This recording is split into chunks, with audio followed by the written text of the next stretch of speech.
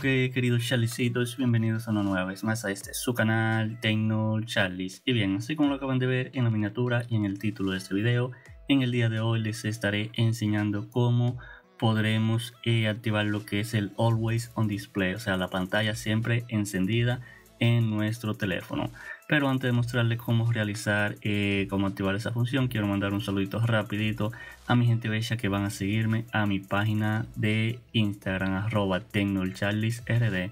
Así que si ya, si ya ustedes me siguen, pueden dejarme un comentario en este videito y también les estaría mandando sus saluditos. Recuerden que además en la descripción del video les dejo mis demás redes para que vayan a seguirme como mi grupo y canal de Telegram para que se unan, vayan por Telegram a unirse.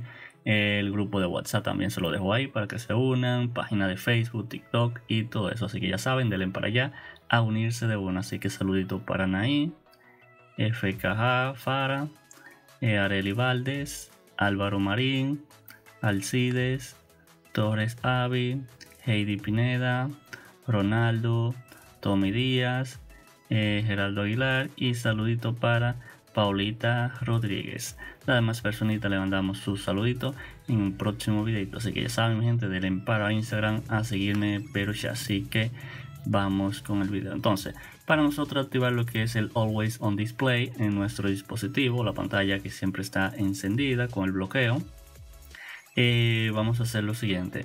Para eso nos vamos a dirigir a lo que son los ajustes de nuestro dispositivo vamos a buscar el apartado que dice eh, pantalla de bloqueo. Vamos a dar aquí. Y aquí vamos a bajar y vamos a buscar esta opción que dice always on display.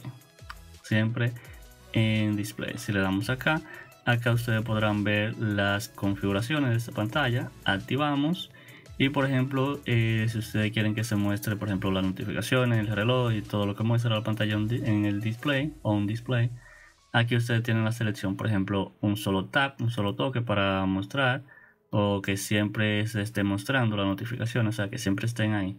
También eh, programarlo como por hora y mostrar eh, y solo mostrar lo que son las nuevas notificaciones ahí. Aquí pueden seleccionar lo que es el color del reloj, el color que ustedes quieren que salga. Eh, si quieren que se muestre la información de la música que está sonando y si ustedes quieren activar esa opción que dice Screen Orientation.